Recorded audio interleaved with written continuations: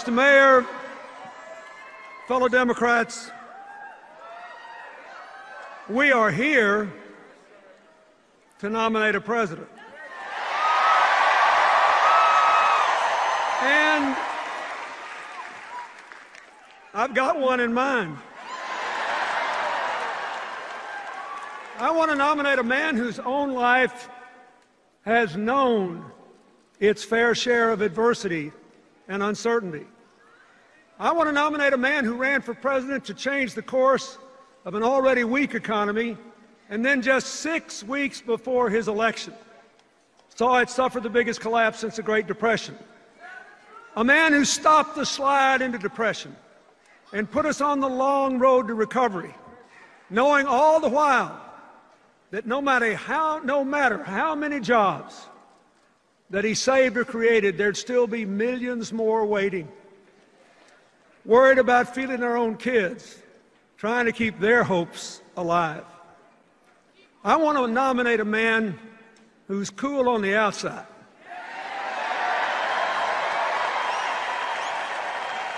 But who burns for America on the inside. I want, I want a, a man who believes with no doubt that we can build a new American dream economy driven by innovation and creativity, by education, and yes, by cooperation. And by the way, after last night, I want a man who had the good sense to marry Michelle Obama. Now,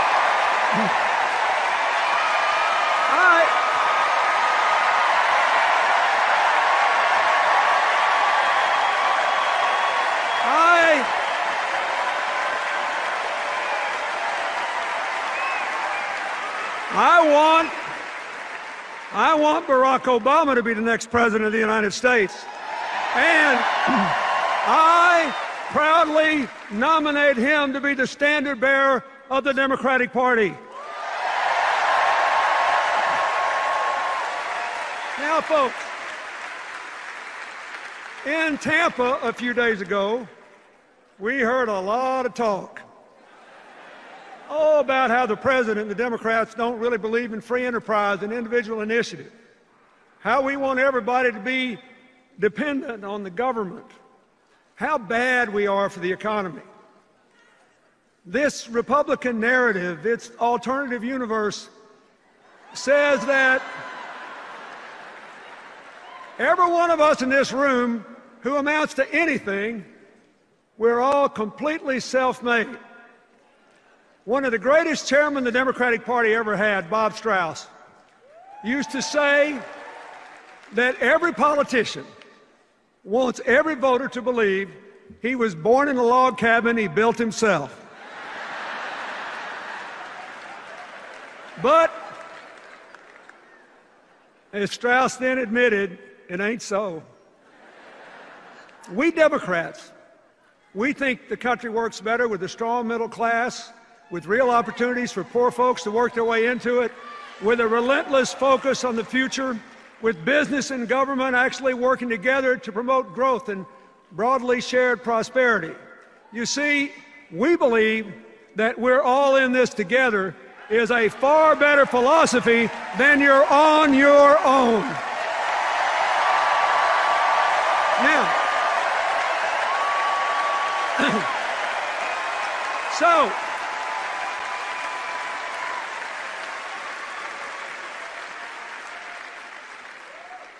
Who's right? Well, since 1961, for 52 years now, the Republicans have held the White House 28 years, the Democrats 24. In those 52 years, our private economy has produced 66 million private sector jobs. So, what's the job score? Republicans, 24 million. Democrats, 42.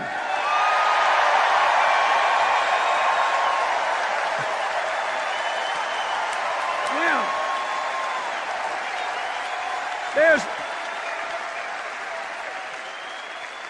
there's a reason for this. It turns out that advancing equal opportunity and economic empowerment is both morally right and good economics. Why? Because poverty, discrimination, and ignorance restrict growth. When you stifle human potential, when you don't invest in new ideas, it doesn't just cut off the people who are affected, it hurts us all. We know that investments in education and infrastructure and scientific and technological research increase growth. They increase good jobs and they create new wealth for all the rest of us. Now, there's something I've noticed lately. You probably have too.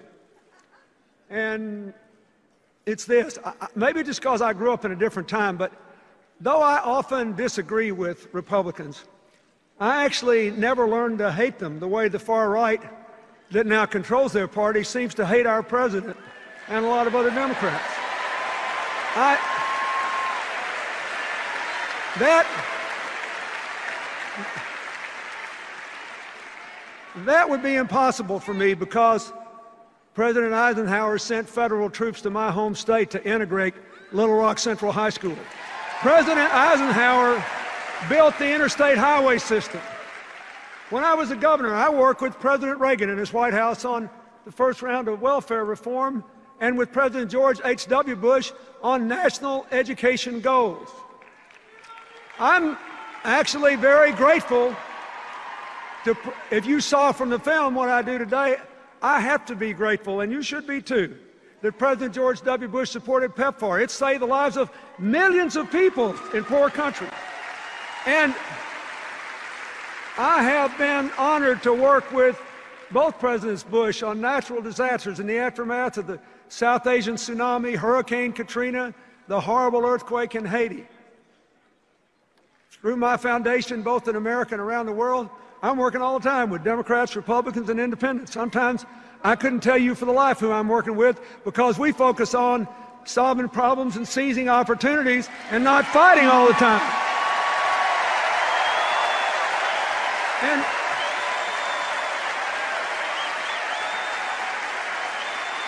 so here's what I want to say to you. And here's what I want the people at home to think about. When times are tough and people are frustrated and angry and hurting and uncertain, the politics of constant conflict may be good, but what is good politics does not necessarily work in the real world. What works in the real world is cooperation. What works in the real world is cooperation. Business and government, foundations and universities. Ask the mayors who are here.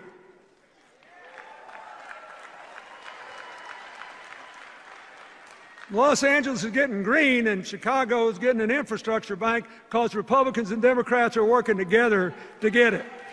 They didn't check their brains at the door, they didn't stop disagreeing, but their purpose was to get something done.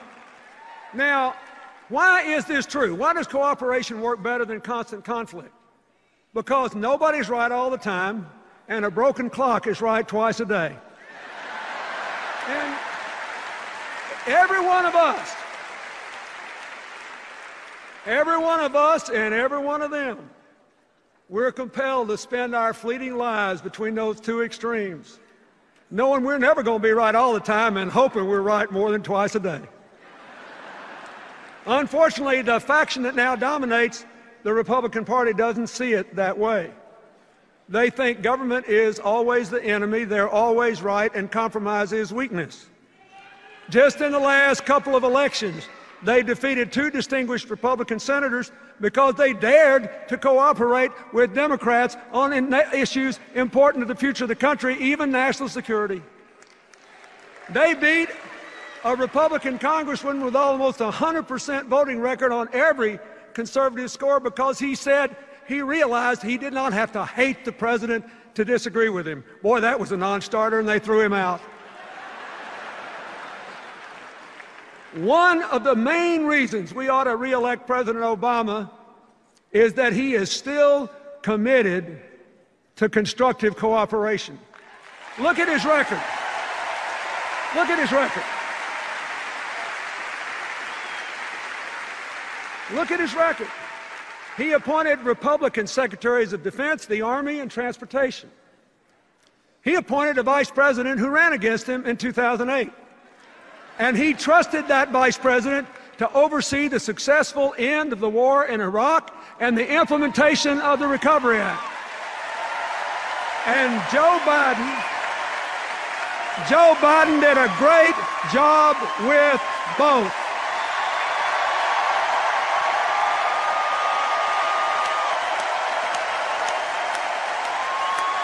Now,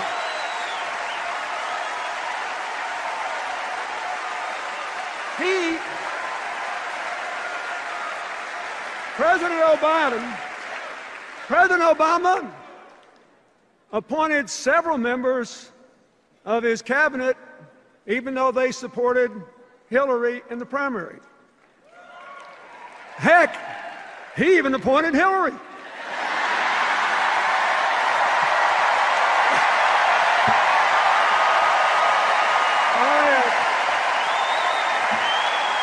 Now, wait a minute.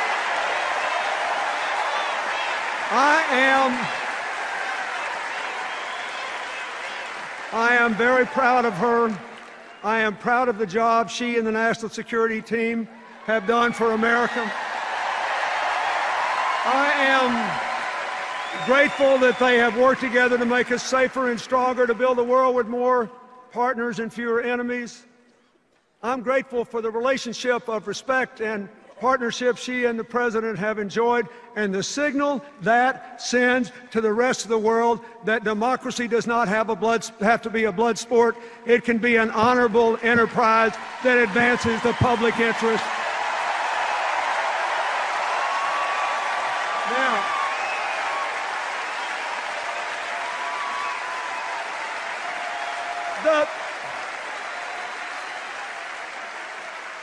the Besides the national security team, I am very grateful to the men and women who've served our country in uniform through these perilous times. And I am especially grateful to Michelle Obama and to Joe Biden for supporting those military families while their loved ones were overseas. And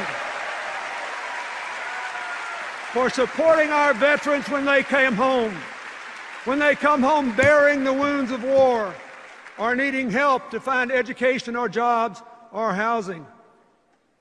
President Obama's whole record on national security is a tribute to his strength, to his judgment, and to his preference for inclusion and partnership over partisanship. We need more of it in Washington, D.C.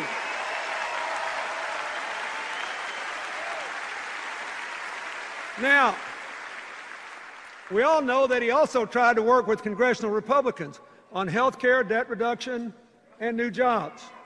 And that didn't work out so well. But it could have been because, as the Senate Republican leader said in a remarkable moment of candor, two full years before the election, their number one priority was not to put America back to work, it was to put the president out of work. Well, wait a minute. Senator, I hate to break it to you, but we're going to keep President Obama on the job. Now, are you ready for that? Are you willing to work for it? Wait a minute. They, uh, in Tampa, in Tampa, in Tampa, did y'all watch their convention? I did. In Tampa, the Republican argument against the president reelection was actually pretty simple, pretty snappy. It went something like this We left him a total mess. He hadn't cleaned it up fast enough, so fire him and put us back in. Now,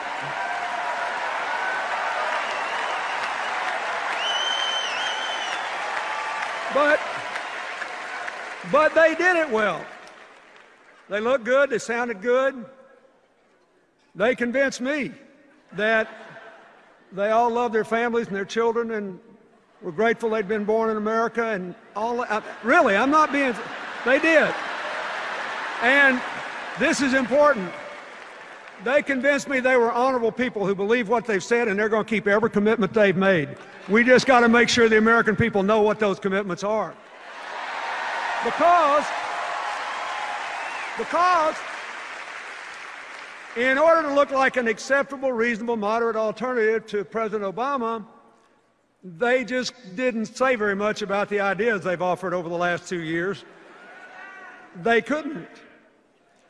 Because they want to go back to the same old policies that got us in trouble in the first place. They want to cut taxes for high income Americans even more than President Bush did. They want to get rid of those pesky financial regulations designed to prevent another crash and prohibit future bailouts. They want to actually increase defense spending over a decade $2 trillion more than the Pentagon has requested without saying what they'll spend it on. And they want to make enormous cuts in the rest of the budget, especially programs that help the middle class and poor children. As another president once said, there they go again. now, I like I I like the argument for President Obama's reelection a lot better. Here it is. He inherited a deeply damaged economy. He put a floor under the crash. He began the long, hard road to recovery and laid the foundation for a modern, more well balanced economy that will produce millions of good new jobs, vibrant new businesses, and lots of new wealth for innovators. Now, are we where we want to be today? No. Is the president satisfied? Of course not. But are we better off than we were when he took office? When, listen to this. Listen to this. Everybody's forgotten. Everybody's forgotten. When President Barack Obama took office, the economy was in free fall. It had just shrunk 9 full percent of GDP. We were losing 750,000 jobs a month. Are we doing better than that today? The answer is yes. Now, look, here's the challenge he faces and the challenge all of you who support him face. I get it. I know it. I've been there. A lot of Americans are still angry and frustrated about this economy. If you look at the numbers, you know employment is growing, banks are beginning to lend again. In a lot of places, housing prices are even beginning to pick up. But too many people do not feel it yet. I had the same thing happen in 1994 and early 95. We could see that the policies were working, that the economy was growing, but most people didn't feel it yet. Thankfully, by 1996, the economy was roaring, everybody felt it, and we were halfway through the longest peacetime expansion in the history of the United States. But, wait, wait. The difference this time is purely in the circumstances. President Obama started with a much weaker economy than I did. Listen to me now. No president, no president, not me, not any of my predecessors, no one could have fully repaired all the damage that he found in just four years. Now,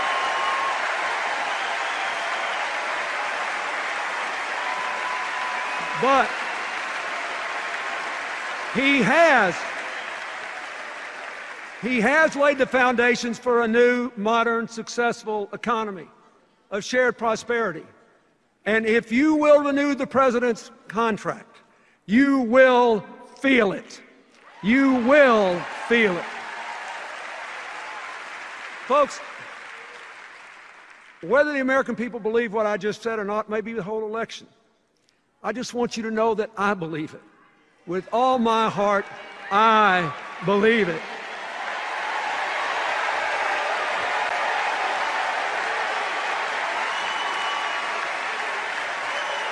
Now, why do I believe it? I'm fixing to tell you why. I believe it because President Obama's approach embodies the values, the ideas, and the direction America has to take to build the 21st century version of the American dream, a nation of shared opportunities, shared responsibilities, shared prosperity, a shared sense of community. So let's get back to the story. In 2010, as the president's recovery program kicked in, the job losses stopped and things began to turn around. The Recovery Act saved or created millions of jobs and cut taxes. Let me say this again cut taxes for 95% of the American people. And in the last 29 months, our economy has produced about four and a half million private sector jobs. We could have done better, but last year the Republicans blocked the president's job plan, costing the economy more than a million new jobs. So here's another job score President Obama plus four and a half million. Congressional Republicans, zero. During this period, during this period, more than 500,000 manufacturing jobs have been created under President Obama. That's the first time manufacturing jobs have increased since the 1990s. And I'll tell you something else. The auto industry restructuring worked. It saved it saved more than a million jobs, and not just at GM, Chrysler, and their dealerships, but in auto parts manufacturing all over the country. That's why even the automakers who weren't part of the deal supported it. They needed to save those parts suppliers too. Like I said, we're all in this together. So what's happened? There are now 250,000 more people working in the auto industry than on the day the companies were restructured. so, Now, we all know that Governor Romney opposed the plan to save GM and Chrysler. So, here's another job score. Are you listening in Michigan and Ohio and across the country? Here, here's another job score. Obama, 250,000. Romney, zero. Now, the agreement the administration made with the management, labor, and environmental groups to double car mileage, that was a good deal too. It will cut your gas prices in half, your gas bill. No matter what the, price is, if you double the mileage of your car, your bill will be half what it would have been. It will make us more energy independent. It will cut greenhouse gas emissions. And according to several analyses over the next 20 years, it'll bring us another half a million good new jobs into the American economy.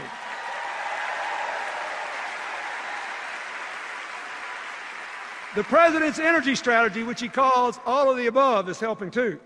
The boom in oil and gas production, combined with greater energy efficiency, has driven oil imports to a near 20 year low and natural gas production to an all time high and renewable energy production has doubled.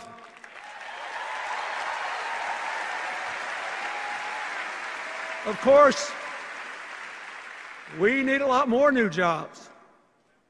But there are already more than 3 million jobs open and unfilled in America, mostly because the people who apply for them don't yet have the required skills to do them. So even as we get Americans more jobs, we have to prepare more Americans for the new jobs that are actually going to be created. The old economy is not coming back.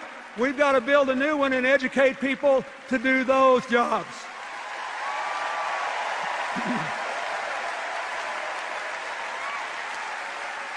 the president the president and his education secretary have supported community colleges and employers in working together to train people for jobs that are actually open in their communities.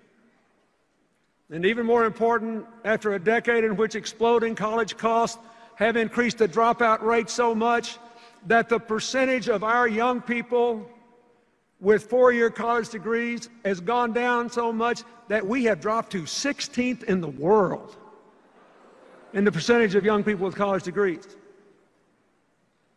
So, the president's student loan reform is more important than ever. Here's what it does. Here's what it does.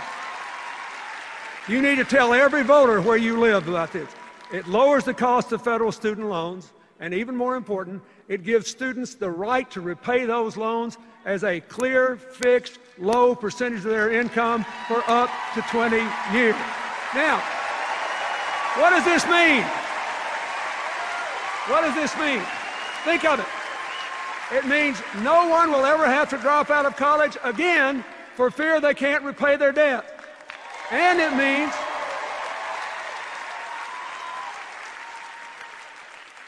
it means that if someone wants to take a job with a modest income, a teacher, a police officer, if they want to be a small town doctor in a little rural area, they won't have to turn those jobs down because they don't pay enough to repay the debt their debt obligation will be determined by their salary.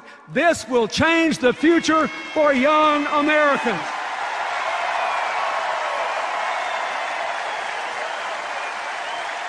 I don't know about you, but on all these issues, I know we're better off because President Obama made the decisions he did. Now, That brings me to health care.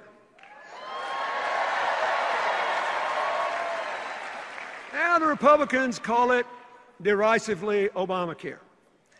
They say it's a government takeover, a disaster, and that if we'll just elect them, they'll repeal it. Well, are they right? Let's take a look at what's actually happened so far. First, Individuals and businesses have already gotten more than a billion dollars in refunds from insurance companies because the new law requires 80 to 85 percent of your premium to go to your health care, not profits or promotion. And the gains are even greater than that because a bunch of insurance companies have applied to lower their rates to comply with the requirement. Second, more than 3 million young people between 19 and 25 are insured for the first time because their parents' policies can cover them. Third, millions of seniors are receiving preventive care, all the way from breast cancer screenings to tests for heart problems and scores of other things. And younger people are getting them too. Fourth, soon the insurance companies, not the government, the insurance companies will have millions of new customers, many of them middle class people with pre existing conditions who never could get insurance before. Now, finally, listen to this. For the last two years, after going up at three times the rate of inflation for a decade, for the last two years, healthcare costs have been under 4% in both years for the first time in 50 years. So,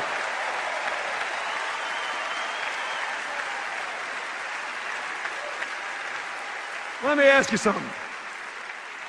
Are we better off because President Obama fought for health care reform? You bet we are. Now, there were two other attacks on the president in Tampa I think deserve an answer. First, both Governor Romney and Congressman Ryan attacked the president for allegedly robbing Medicare of $716 billion.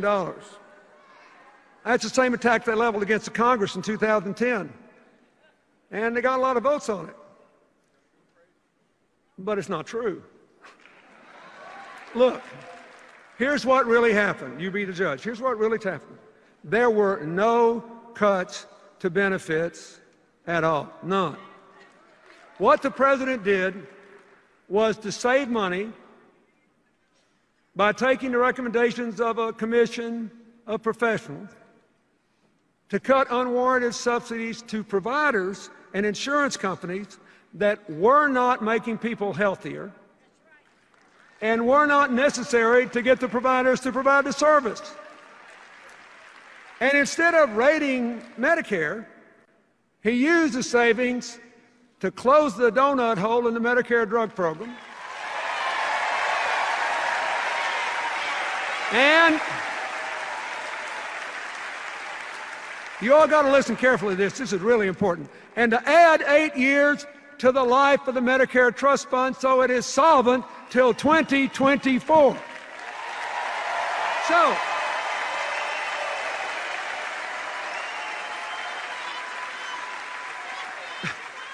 So President Obama and the Democrats didn't weaken Medicare, they strengthened Medicare. Now, when Congressman Ryan looked into that TV camera and attacked President Obama's Medicare savings as, quote, the biggest, coldest power play, I didn't know whether to laugh or cry. because that $716 billion is exactly to the dollar the same amount of Medicare savings that he has in his own budget.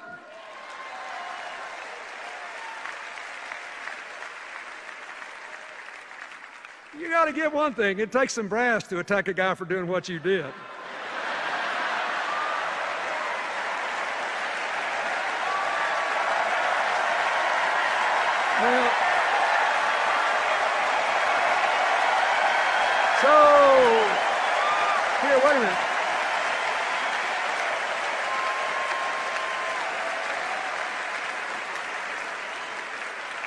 Now you're having a good time, but this is getting serious. I want you to listen. It's important because a lot of people believe this stuff. Now, at least on this issue, and this one issue, Governor Romney has been consistent. He, he attacked President Obama too. But he actually wants to repeal those savings and give the money back to the insurance company. He wants to go back to the old system, which means we'll reopen the donut hole and force seniors to pay more for drugs. And we'll reduce the life of the Medicare Trust Fund by eight full years.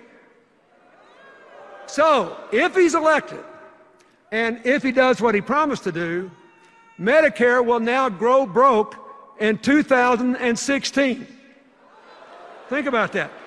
That means after all, we won't have to wait until their voucher program kicks in in 2023 to see the end of Medicare as we know it. They're going to do it to us sooner than we thought. Now, folks, this is serious because it gets worse. And you won't be laughing when I finish telling you this.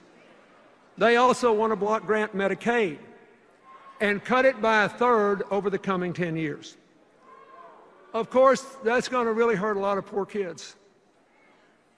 But that's not all. A lot of folks don't know it, but nearly two thirds of Medicaid is spent on nursing home care for Medicare seniors who are eligible for Medicaid.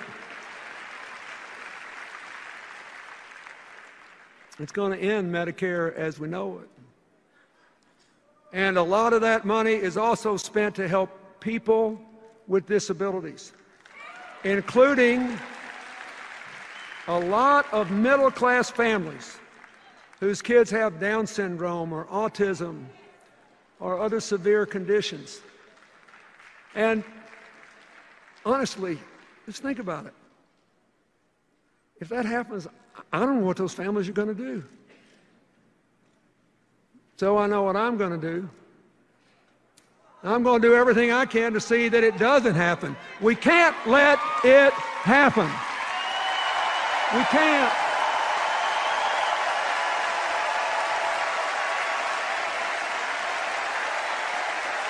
Now, wait a minute. Let's look. Let's look at the other big charge the Republicans made. It's a real doozy. they actually have charged and run ads saying that President Obama wants to weaken the work requirements in the welfare reform bill I signed that moved millions of people from welfare to work. Wait, you need to know here's what happened. Nobody ever tells you what really happened. Here's what happened.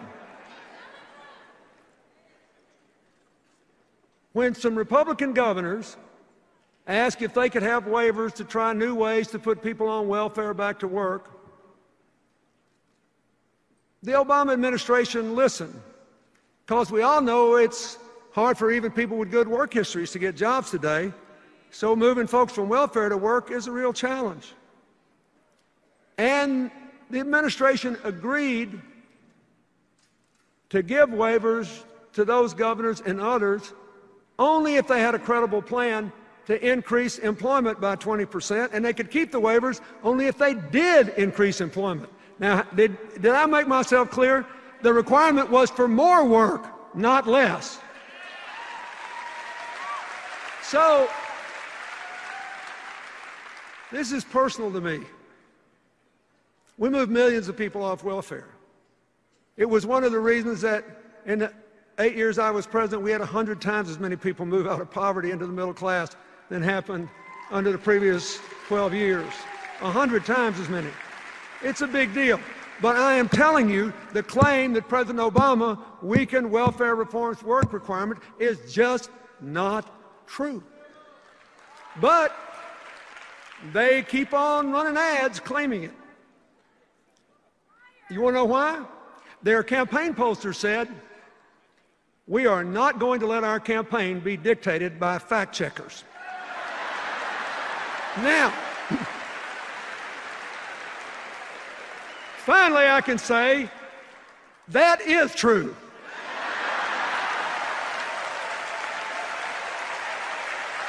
I, I couldn't have said it better myself. And I hope you and every American within the sound of my voice remembers it every time they see one of those ads and it turns into an ad to reelect Barack Obama and keep the fundamental principles of personal empowerment and moving everybody who can get a job into work as soon as we can. Now,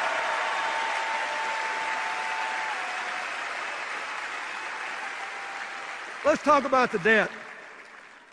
Today, interest rates are low, lower than the rate of inflation. People are practically paying us to borrow money, hold their money for them.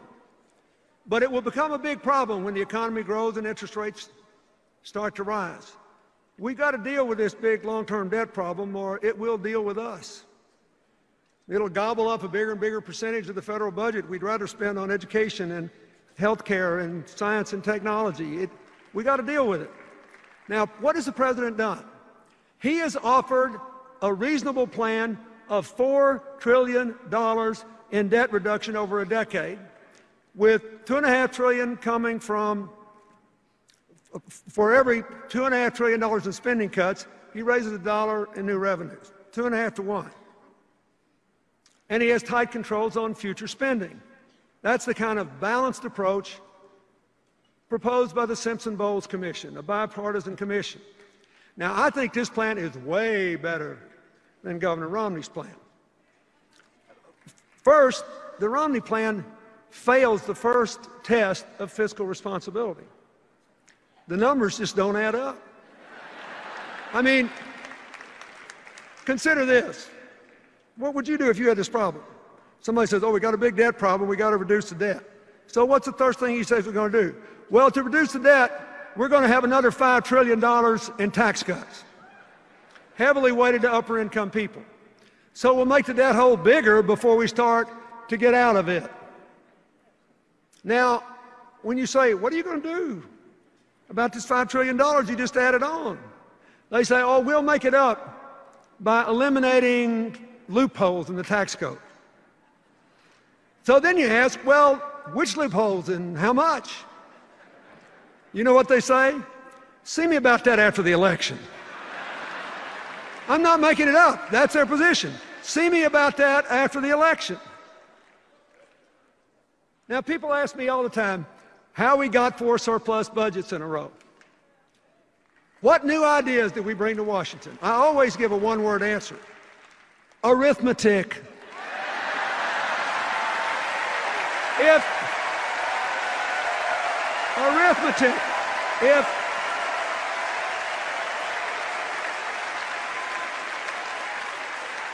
if they stay with this $5 trillion tax cut plan, in a debt reduction plan?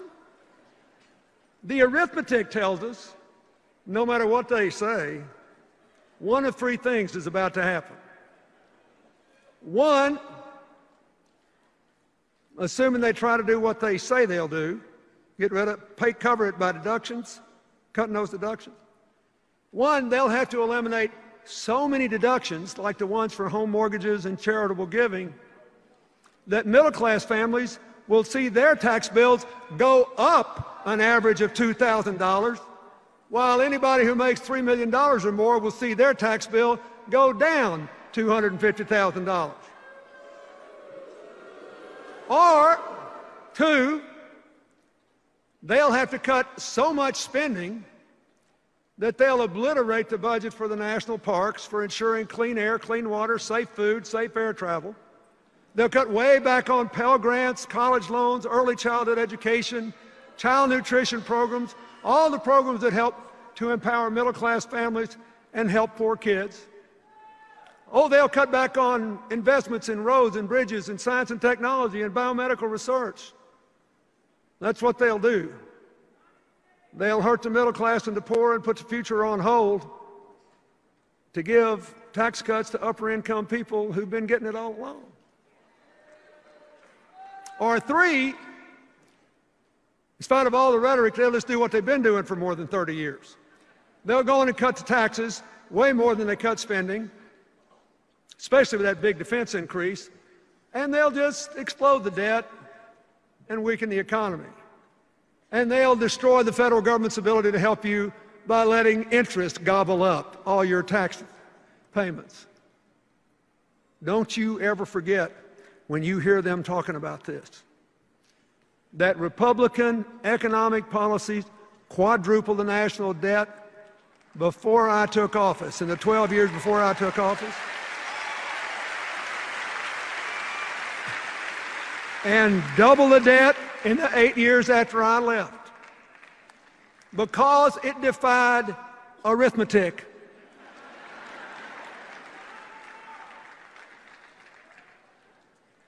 It was a highly inconvenient thing for them in our debates that I was just a country boy from Arkansas and I came from a place where people still thought two and two was four. It's arithmetic.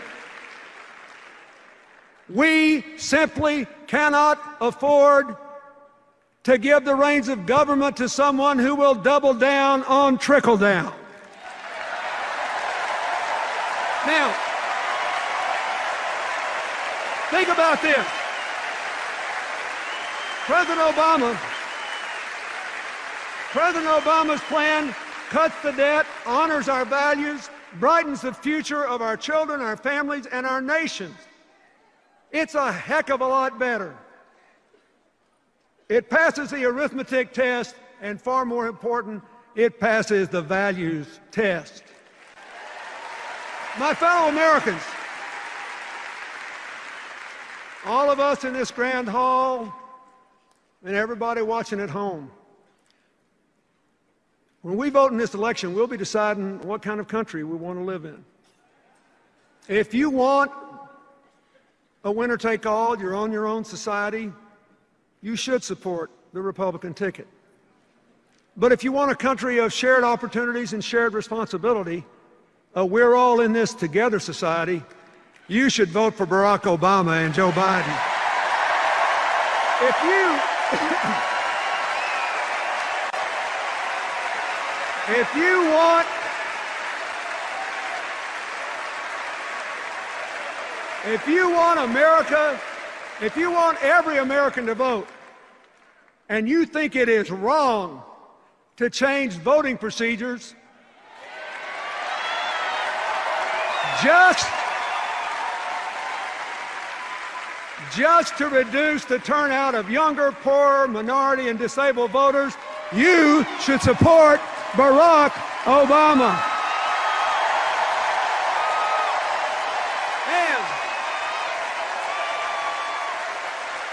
If you think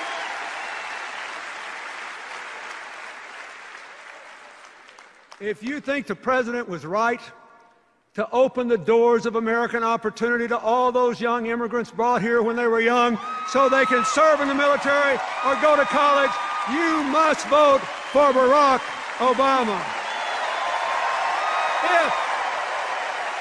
If, if you want a future of shared prosperity, where the middle class is growing and poverty is declining, where the American dream is really alive and well again, and where the United States maintains its leadership as a force for peace and justice and prosperity in this highly competitive world, you have to vote for Barack Obama. Look,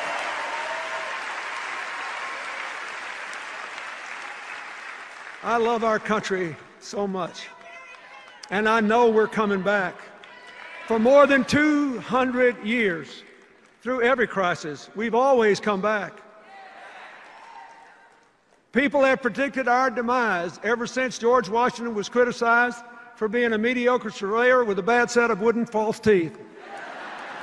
And so far, every single person that's bet against America has lost money because we always come back.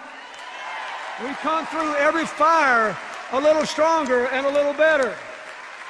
And we do it fire a little stronger and a little better.